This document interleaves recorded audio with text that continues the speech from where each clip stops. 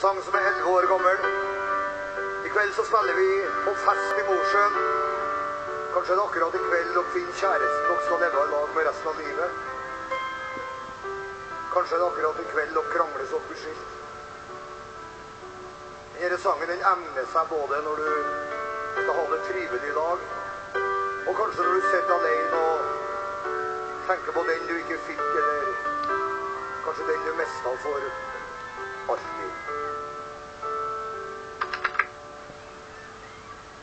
Det kan ikke sånn. Den beste tida skulle jo komme nå.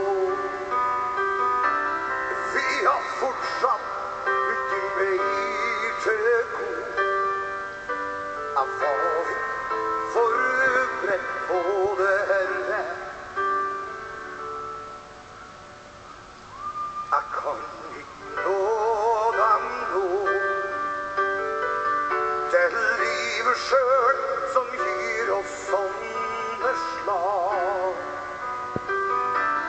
Men jeg skal alle få sagt